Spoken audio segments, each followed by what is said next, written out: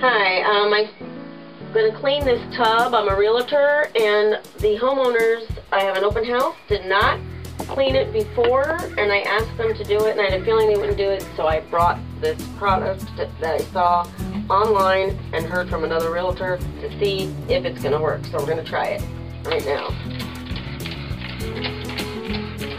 Reason I'm filming this is because if you send your before and afters, you get a discount on your next order, and if it does work, as a realtor, we run across a lot of dirty tubs.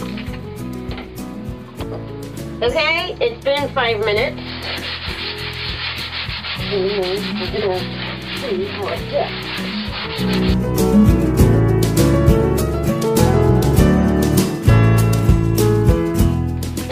with this other one, which is the part two process.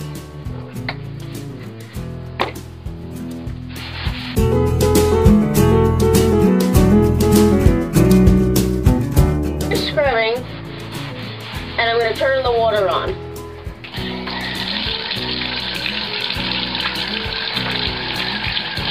Well, you can see, I cleaned up this tub it looks like when I finish the whole tub, I'll be able to sell this house.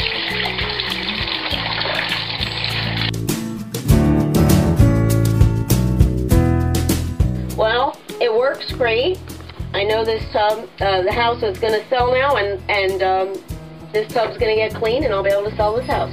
Well, it looks a lot better than it did before.